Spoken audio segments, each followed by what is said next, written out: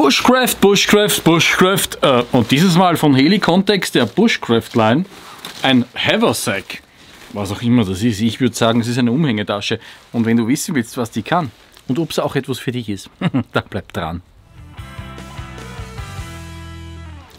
Hallo willkommen, da ist der Reini Rossmann vom Survival Shop Bio Lebenskunst. Schön, dass du dabei bist. Ich melde mich hier aus dem wunderbaren Buschkraftareal auf Aldo Laboté, direkt von unserer Wielandhütte. Schön, dass du dabei bist. Wie, ja, soll ich da jetzt anfangen? Haversack. Ich habe überhaupt keine Ahnung, was das bedeutet. Ich habe es einfach runtergelesen, was drauf gestanden ist. Auf jeden Fall ist diese Umhängetasche für Bushcraft, für Waldhandwerksabenteuer gedacht und wir schauen uns jetzt gemeinsam an, was sie kann. Schau mal her. Hier gibt es den für die Fronttasche. Du machst hier auf und dann öffnest du mit einem Griff sozusagen die gesamte Tasche. Aber der Vorteil ist, dass aufgrund dieses Klicksystems, ich kenne das äh, zum Beispiel von einer Magazintasche vom Militär, ja, hm, durch die ist, die, das ist gesichert, also das kann nicht aufgehen, das heißt du kannst die Ausrüstung nicht verlieren, das geht nicht raus.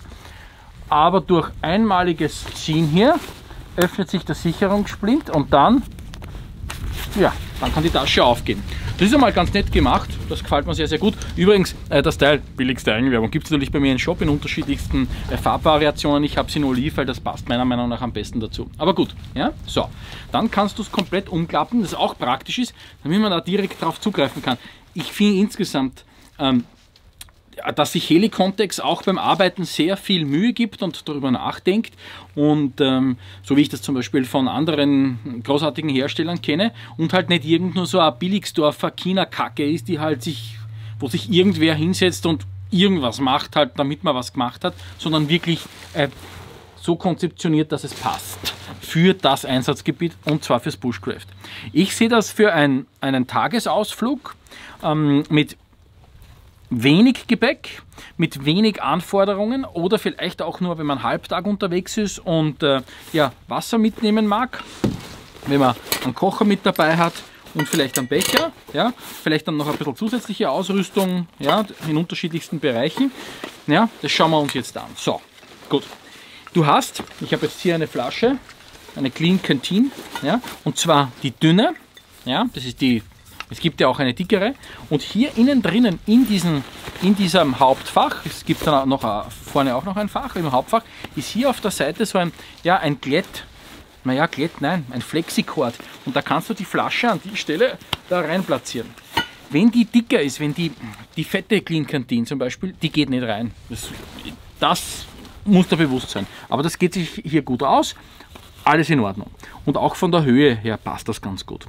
Dann ich nehme jetzt mal raus, ich habe jetzt erste Hilfe-Set. Dann, ich habe hier unten Messer drinnen, äh, die ich übrigens auch hier mitgebracht habe, weil ich ein Review dazu machen mag. Das sind äh, Schnitzelmesser, die es auch bei mir im Shop gibt, die Tri, TRI, Tri, die sind auch cool. Also da ist noch genügend äh, Platz nach unten. Also du siehst, da kriegst schon was rein. Also das ist jetzt nicht irgendwie nur so ein, ein kleines Taschel. Bedeutet aber auch, wenn du viel reinkriegst, das schwer wird. Und das ist dann der Nachteil bei diesen Umhängetaschen, wenn du wirklich viel Material mitnimmst, wenn du äh, viel Wasser mit hast, wenn das schwer ist, dann hängt es halt auf der einen Seite und wenn du dann weiter gehst, ist es unangenehm. Wenn du wirklich mit deinem Auto wohin fährst, äh, wie man das zum Beispiel hier bei dieser Wielandhütte hier machen kann und dann eine kleine Runde gehst, dann ist es in Ordnung. Aber wenn du da wirklich wandern gehst, würde ich einen Rucksack nehmen. Ich, ich sag's so wie es ist. Schau mal her. Klinkentin, dann hier den Händelmark, den großen und noch einmal äh, ein Kocher, das ist so ein, ein Mini-Kocher äh, von WTB. Das gibt es alles bei meinem Shop logischerweise. Ich gebe da unten den Link im, im Beschreibungstext. Und da hast du dann noch immer Platz. Also von der Breite her ist das dann alles. Und oben kannst du jetzt dann auch immer andere Ausrüstungsgegenstände reinbringen. Also das kann man ganz schön anfühlen. Wobei ich, wie gesagt, nicht der Meinung bin, dass das sinnvoll ist. Aber es würde gehen. Du hast dann hier hinten ein Zipfach. Ja, das ist so ein kleines Zipfach, das geht bis hierher. Das ist also ungefähr so tief wie meine Finger. Und dann vorne ist auch noch einmal ein Zipfach, also hinten und vorne. Und das geht bis ganz runter, also es geht bis, bis hierher.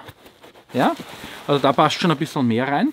Wie gesagt, ich bin nur nicht der Meinung, dass man zu viel mitnehmen soll. Aber zum Beispiel hier würden Teesackeln reinpassen, hier würde Kaffee reinpassen, vielleicht das Salz oder sonstige Dinge, irgendwelche Zutaten kann man da gut mit reinpacken. Und hier hinten würde ich zum Beispiel meinen Autoschlüssel reinpacken oder den dazugehörigen D-Ring verwenden, wenn ich das mit Karabiner mache. Kommt immer ganz drauf an, äh, in welchem Bereich. Ja, das sind so, äh, das ist so, sind so die Hauptfeatures im Hauptfach. Dann gibt es hier vorne dann auch noch einmal ein kleines Fach. Da habe ich jetzt ähm, Erste-Hilfe-Kit mit eingepackt, weil das gehört sowieso immer mit dazu. Und da ist auch, ähm, ich hoffe, die Kamera äh, zeigt dir das recht gut und kann das aufnehmen. Da ist so ein, ein Flauschi-Mauschi.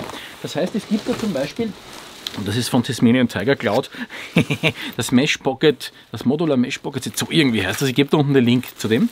Und das kannst du hierher poppen, draufkletten. Und dann hast du auch hier die Möglichkeit, Ausrüstung zu platzieren. Ja? Ich kenne das jetzt zum Beispiel von Tasmanian Tiger auch für den taktischen Bereich, die da irgendwelche Holster dazugeben für die militärischen Einsätze oder polizeilichen Einsätze, taktischen Einsätze. Aber das muss ja nicht immer sein, aber es würde theoretisch gehen. Aber ich kann auch anderwertig hier äh, austoben. Es ist sonst kein weiteres Fach hier gegeben und du hast auch da wieder einen D-Ring, also du hast innen einen D-Ring und auch an dieser Stelle einen D-Ring und kannst auch hier wiederum Ausrüstung reingeben. Ja, das ist einmal das, ist einmal das eine. Gut, dann gehen wir zu den, zu den äußeren Bereichen. Du hast hier Molle auf Mollestreifen aufgepoppt und ich finde das sehr praktisch, weil man da immer wieder mit Karabiner Ausrüstung anbringen kann. Das zum Beispiel ist ein Garmin, ein ich würde jetzt sagen, Überlebenstool für den Wanderer oder derjenige, der ein bisschen weiter abseits der Rettungsketten und Mobilfunkketten unterwegs ist. Das ist das InReach, das Mini, und mit dem kann man Notsignal absetzen. Äh, ist aber eine andere Geschichte. Wenn dir das interessiert, schreib mir unten einen Kommentar, dann kann ich das auch gerne mal vorstellen.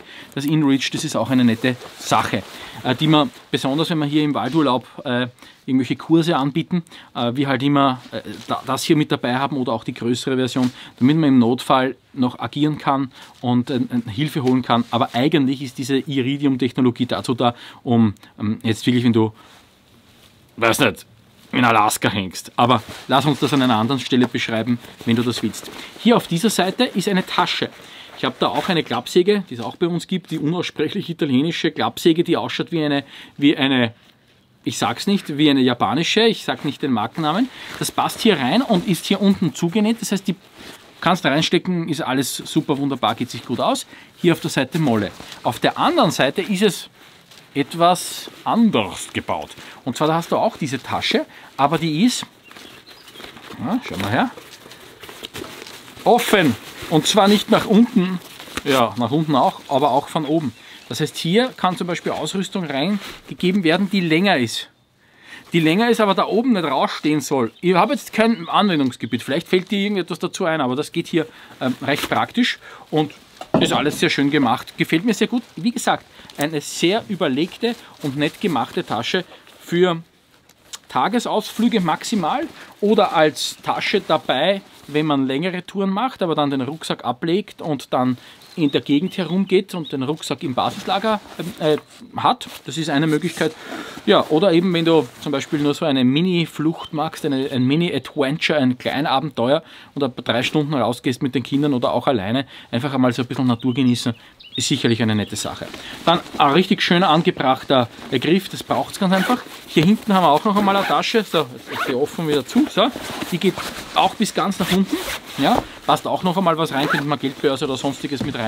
Äh, da unten, da unten, der Boden, der ist verstärkt, also der, dieser, das Unterteil, das ist verstärkt und äh, auch, mir kommt es vor, etwas fester vom Material her. Ist aber auch logisch, weil steht man ja andauernd äh, so auf diese Position hin. Das Umhängeelement ja, hat kein, äh, keinen Schulterpolster, was es ja immer wieder gibt. Das ist einfach ja, so wie du es kennst vom, vom Gurt, vom Auto, nur noch einmal ein bisschen fester. Das bedeutet, bei einer Jacke ist das kein Problem. Wenn du aber nur ein T-Shirt jetzt zum Beispiel hast, ich habe ein Hemd auch, ich habe meistens Hemden an, meist, also ich habe meistens irgendwas mit einem Kragen an, genau aus dem Grund, damit das nicht beim Halt scheuert, weil das Hemd etwas aufträgt. Aber wenn man nur mit einem T-Shirt unterwegs ist, könnte das hier am Hals mit der Zeit etwas reiben. Äh, das muss da bewusst sein.